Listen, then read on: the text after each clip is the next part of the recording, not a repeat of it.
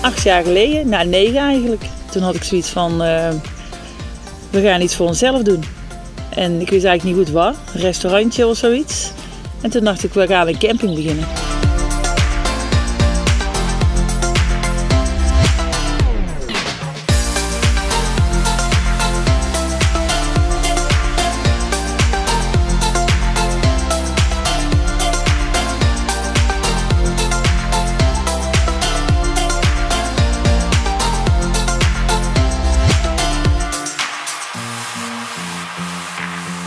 De ligging van de camping die is erg rustig. Van hier naar het dorp is een kilometer of 7. Ehm, het ligt precies op de grens Nederland-België. Achterkant van de camping kun je door middel van een poortje meteen in België staan. Heel apart.